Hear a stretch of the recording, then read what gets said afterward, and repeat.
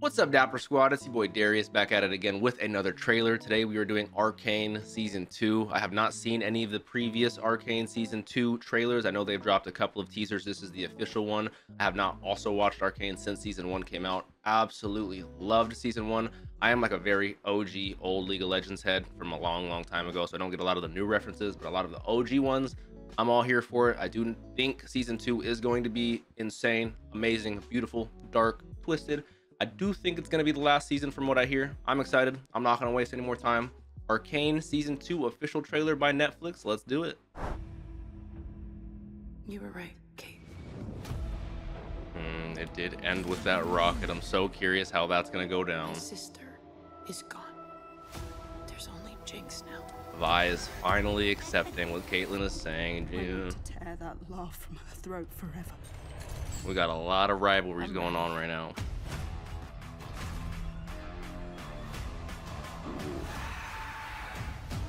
Okay, police force. I don't know whose team I'm on. Piltover. Or the lower side. Top side is the real Top side. You have the chance Remember she got her ass whooped by Vi a couple of times. Ooh, it's about to be a good season.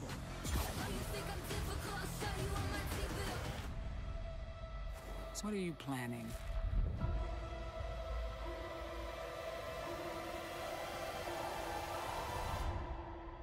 Watch it all burn.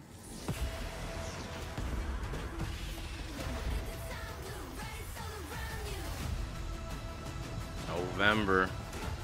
I hope they release it in three episode arcs exactly like they did last time. You felt it, haven't you? Um, oh my, if you know, you, Vander. He's waking up.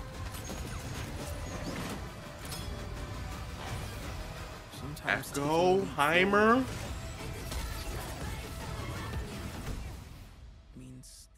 Things behind.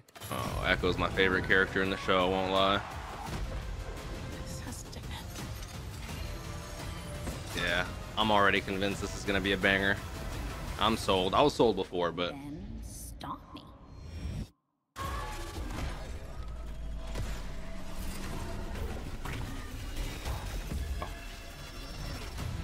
Oh my lord. Oh my lord. Okay, okay.